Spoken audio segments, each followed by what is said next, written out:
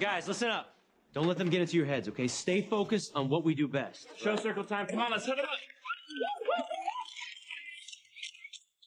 Okay, uh, oh, Finn, you wanted to start us off? Yeah, I know it's kind of short notice, but after the competition, Rachel and I are going to get married at the Justice of the Peace at the Lima Municipal Center. There'll be some light refreshments afterwards. My dad's and I were rolling finger sandwiches all night long. With everything that's happened lately, we thought a lot about what Mr. Schue said. We didn't want to wait anymore. We just want to live every day like it's our last. So we wanted to thank a lot of you guys that were supportive of our decision to get married. And, and for those of you who maybe weren't the biggest fans of our impending nuptials, we thank you also. So after we win, we would really love it if all of you would come to our wedding. Come on, bring it in. Uh,